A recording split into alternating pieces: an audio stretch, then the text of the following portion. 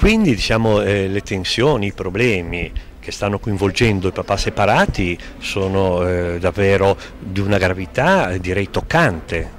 No, la separazione è sempre un trauma, soprattutto ovviamente quando ci sono i bambini di mezzo.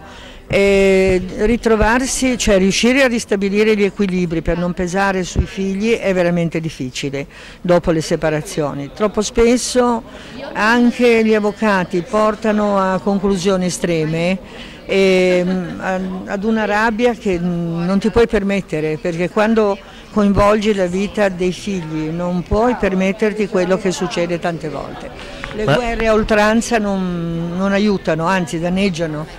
Certo, ma secondo lei la lentezza che ha la giustizia può essere anche determinata dal fatto che in Italia eh, su 60 milioni di abitanti ci sono 250 mila avvocati, in Francia ci sono addirittura circa eh, cioè quasi 61 milioni di abitanti e sono in 30 mila di avvocati?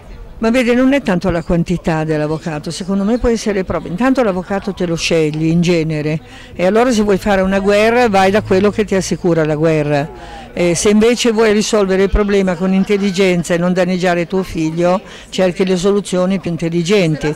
È che sono percorsi che si delineano a volte con grande difficoltà e mm, non è facile eh, ottenere i risultati che forse ti proponi, per cui spesso poi ti trovi in un mondo sconosciuto cui non sai come comportarti.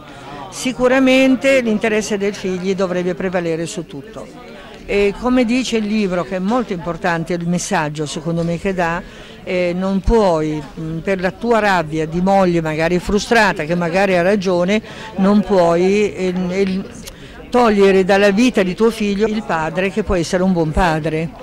Certo. Quindi il figlio finirebbe poi per pagare gli errori non suoi ma tuoi ed è una cosa grave quella di cui beh, non ti sarà grato. Beh, senz'altro. L'ultimissima domanda, lei da eh, professionista accreditata, stimata, eh, quale sarebbe il percorso che sarebbe giusto tracciare per sciogliere questi nodi, per fronteggiare in modo adeguato e concreto questi nodi? Ma intanto incominciare a ragionare quando ti sposi, perché io vedo che molte persone si sposano con, e fanno, mettono al mondo un figlio eh, senza alcuna vera consapevolezza, cioè con leggerezza quasi, con una facilità che poi paghi col tempo.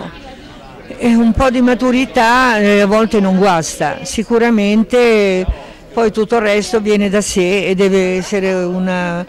cioè si, si deve maturare, purtroppo si matura a volte con dolore. certo, facile. quindi ci vorrebbe una sorta di processo di sensibilizzazione. Sì, ci vuole sensibilizzare, io guarda, a volte esagero, però dico sempre che quando due si sposano, prima invece di fare un corso per matrimonio, dovrebbero fare un corso per separazione, cioè capire che ti sposi, ma se non va tutto bene poi che cosa devi fare? Allora ragionaci prima per non ragionarci male dopo.